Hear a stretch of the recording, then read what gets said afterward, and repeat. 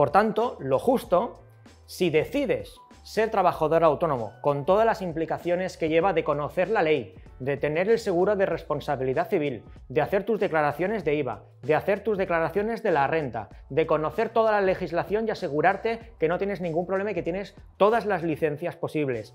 con todos los problemas que te puedes encontrar si algo no lo haces bien. Lo justo sería que si decides ese camino, no sea porque te has visto obligado, sino porque tú mismo lo has decidido.